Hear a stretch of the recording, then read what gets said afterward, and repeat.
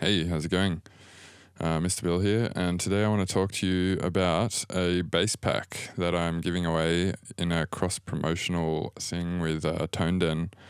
So basically, this pack here is a it's a bunch of samples that I made a while ago. Um, I just made they're just a bunch of bass sounds that have a bunch of like nice tone and movement to them. Um, and I've, I haven't given them away before. They're previously ungiven away, unless you've like downloaded some project files of mine, and then you might find like a couple of these files within the samples folder of the project file. But for the most part, all of these samples are fresh, um, and I use them a lot.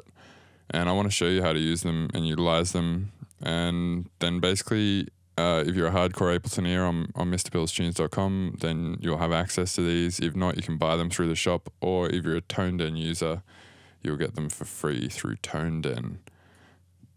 So um, basically, what they are, I'll show you. I'll just play a few of them. They sound like this.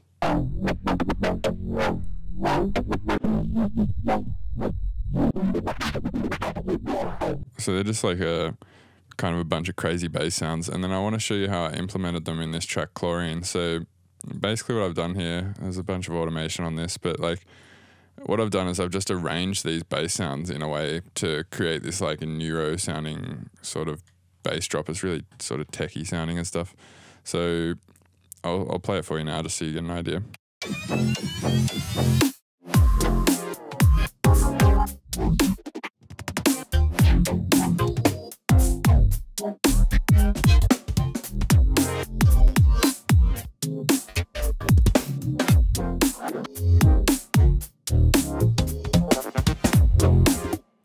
So that's the idea. Um, these are the actual bass sounds just on their own.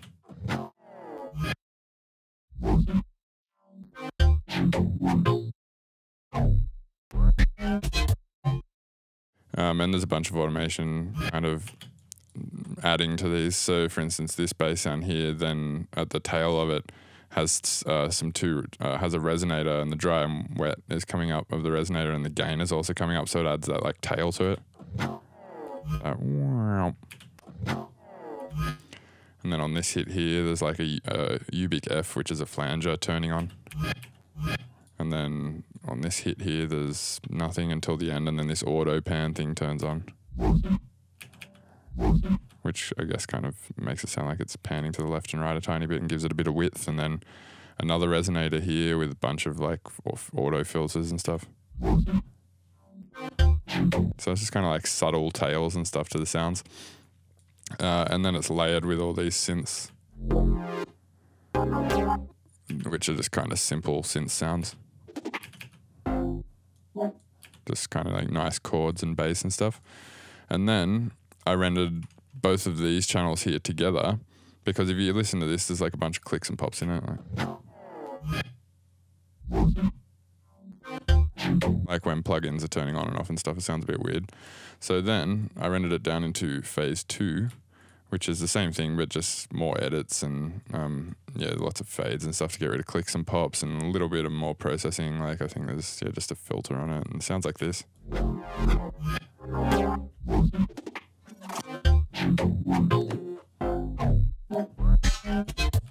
And then all together with phase two, it sounds like this.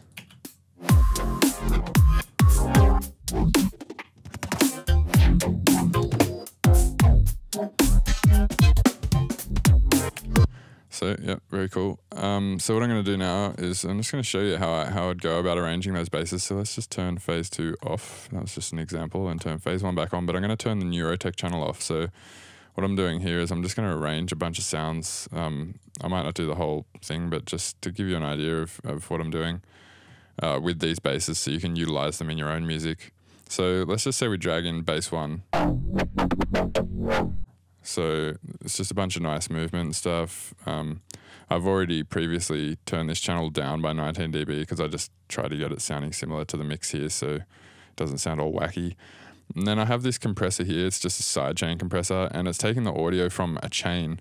So what I do in my tracks is I create a separate channel called chain and rather than sidechaining to the kick and the snare, I sidechain to this one piece of audio. And if I just play this audio on its own, I'll just turn the channel down. It just sounds like this. So it's just like a click and it's really, really short. And the reason why I do that is so you can see that the signal coming into the compressor is super short, and then because of that, um, it, it gives you like a way tighter response. I feel like with the compressor. So if you listen to the the chain with the drums, or let's just say more specifically just the kick and the snare, you'll hear that it hits every time a kick and a snare hits.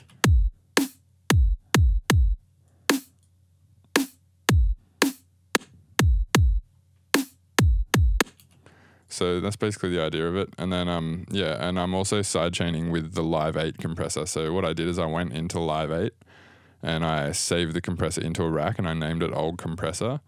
And then I went to uh, I just saved the rack basically and called it old compressor. Um, and then when you drag it in, it gives you the option to upgrade. So I can upgrade this, and now it's the Live 9 compressor. But I just like the Live 8 compressor. I feel like these FF1, FF2 models and stuff are just nicer. Like if we upgrade it, you lose that, and you get this peak RMS and expand mode. And I don't know, the FF1 and the FF2 are really cool, especially the FF1 for sidechaining, which is what I'm using this compressor for mostly. If I'm actually trying to compress something, I'll usually use. Um, you know, like glue compressor or a, a separate third party plugin or something like that. So that's just a little bit of side information. But yeah, let's let's arrange some stuff. And I'm going to use a trick that I've showed you in the past as well, um, where I use like a, a piece of silence that I call the placeholder, and then I kind of am able to just drag this playhead around, and you can see that it's just scrubbing through the audio file. So I'm just going to try and find a hit and I'll use the transposition control down here to pitch it around.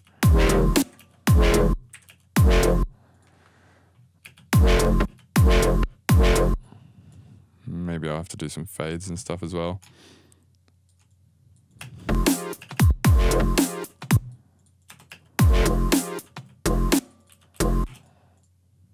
So maybe let's just edit this bit.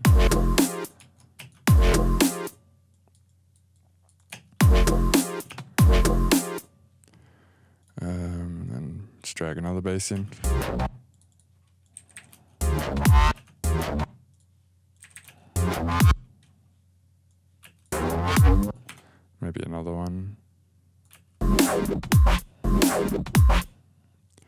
That sounds kind of cool. So you, you just take like the natural movement of the bass really. And it kind of just drag it around. I hold, I'm holding alt and just dragging so it's off the grid.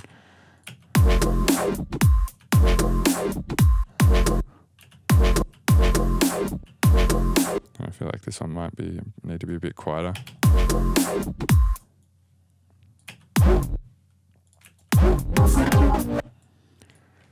And here I kind of just want these to happen on the kicks like they did in the original.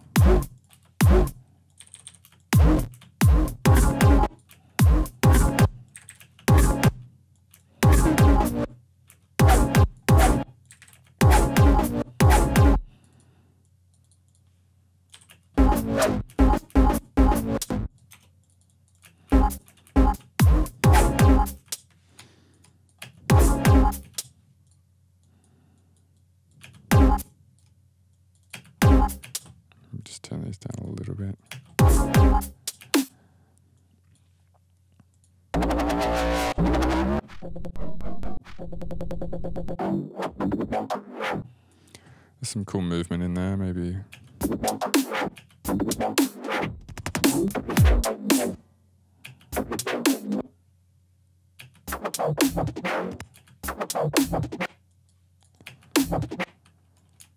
Maybe that movement there.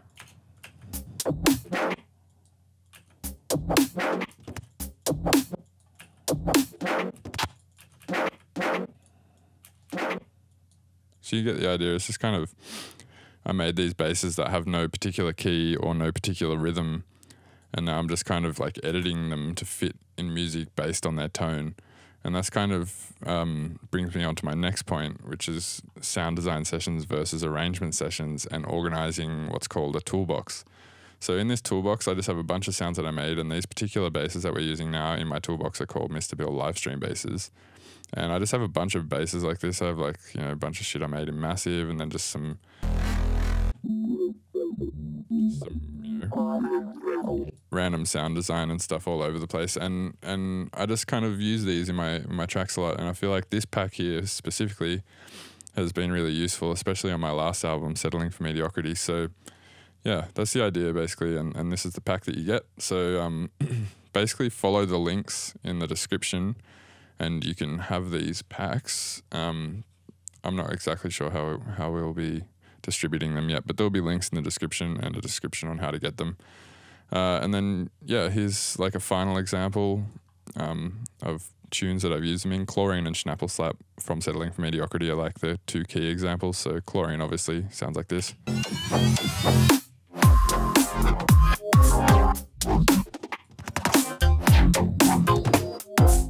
And then in Schnapple Slap, I use them like this.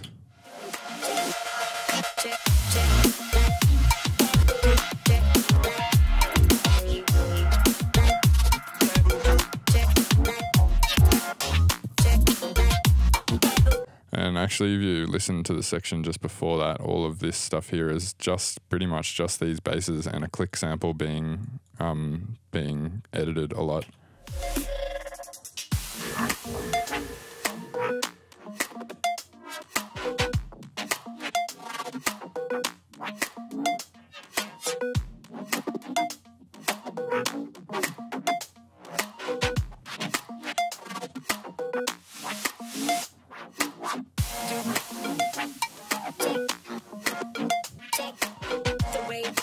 So yeah, that's the basic idea. Um, if we go back to the one that we are just working on, probably sounds terrible, but you get the idea. Like that's the way it's done, or that's the way I did it. Yeah, you got, got to be kind of selective with your hits in there, and then you got to process them again. Like I process these a lot again. Um, I mean, you don't have to process them again. I I do.